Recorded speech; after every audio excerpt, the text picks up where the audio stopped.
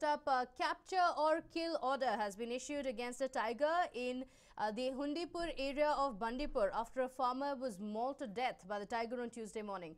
A note issued by the additional principal chief conservator of forest said that the tiger will be captured in the next one or two days. The order was issued after the incident on Tuesday, which was the second instance of a farmer being mauled to death by a tiger in the same area in the last two months. Well, the Hundipur area falls under the Gopalaswamy range of the Bandipur Tiger Reserve. The area was gripped with tension on Tuesday after the residents were angered by the death of 80-year-old farmer Shivalingappa.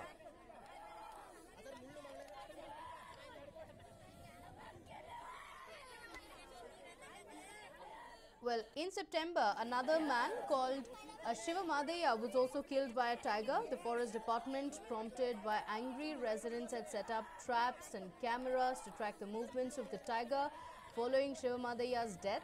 Uh, in fact, visuals from the camera also uh, showed that the tiger is a healthy one and has been seen moving very quickly.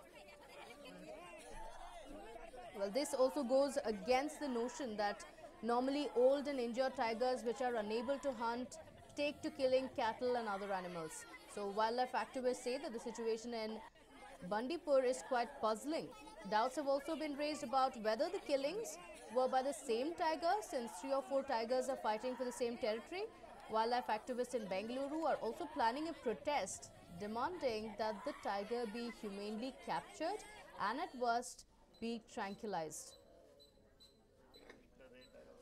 Joining us over the phone line now is uh, Joseph Hoover, uh, who's also on the way to Bandipur to take a sense of what the situation is like because the villagers there are very angry, but at the same time, it's also important to ensure that uh, they don't kill the tiger. Many thanks for joining us, Mr. Joseph Hoover. If you can tell us about what you know currently and you know how you think the situation should be handled.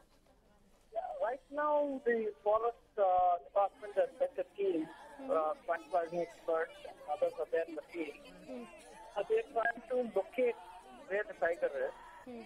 Uh, obviously, it's not going to be easy. I mean, this, this, this spot is also.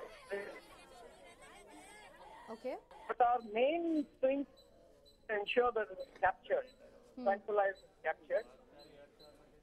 So that is, that is our uh, goal. That's precisely why we want to go be there. Hmm. And uh, it's not going to be a lock in the park. Hmm. Like if they say within 24 hours, 48 hours, we'll do this, that, that's all just for public uh, consumption. Right. It will take a long time. If you're lucky, we'll see the tiger immediately. Otherwise, it could take two days, four days, could take even two weeks. So this is where the history has been in the past. It's okay. not going to be easy. As I said, as I tell you right now, we're just reaching 24. Hmm. 20 meters from there. So we'll have to see what takes off from there. But uh, there is an honest effort now that uh, people are disturbed, people are angry.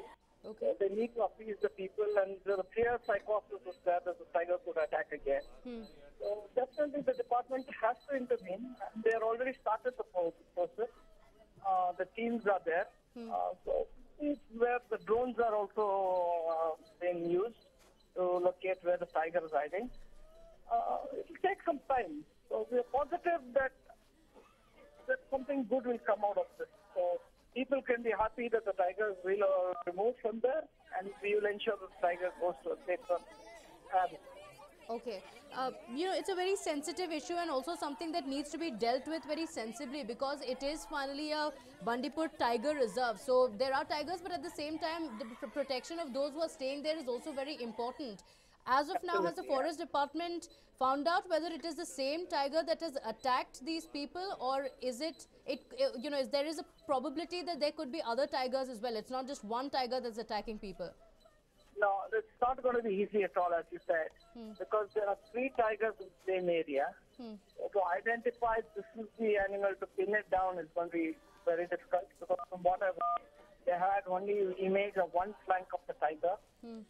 Uh, and since there are three tigers in the area, they can't shoot down one which is uh, innocent. Uh, in case that dies again, another kill happens, you have to kill another tiger. That's not going to be so. They need to study it. They need to understand.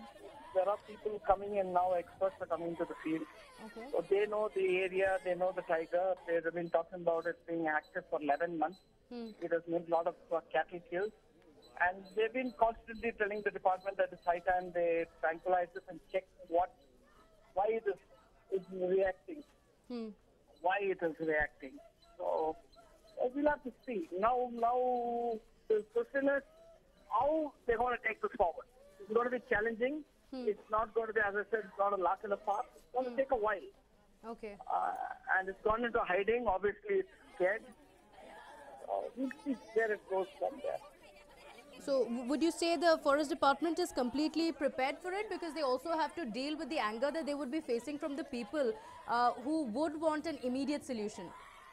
Yeah, people have understood now that the postmortem is done, the burial has happened, the compensation is paid.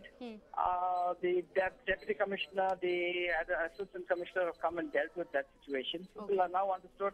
The forest department is earnestly making an effort to get, capture the tiger or either to kill it, whatever they've been telling. So we'll have to see. People are now understood that this is now the the prerogative of the, the responsibility of the forest department to capture the tiger and put them at ease. So that is the process which is begun.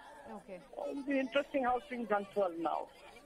Right, right, all right. Many thanks, uh, Mr. Joseph Hoover, for joining us, and uh, we'll uh, come to you for more updates on what's happening. Right now, several people from the area are extremely angry. The anger is palpable there in the area after two deaths.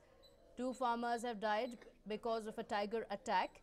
Now, the forest department has launched the search operation already, but it's not going to be easy.